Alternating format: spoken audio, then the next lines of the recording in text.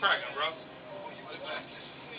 Alright. I see you, bro. I don't mean no harm. I'm just not from around here. What you got in your hand, bro? I got a big ass motherfucking gun. But I'm not from around here is what I'm saying. I'm from Chicago, bro. And I don't know around here outside. So Nah, bro, you. You gotta bring it in, bro. I see your What's that? Yeah, yeah. Back. Alright, I'm gone. Put it back.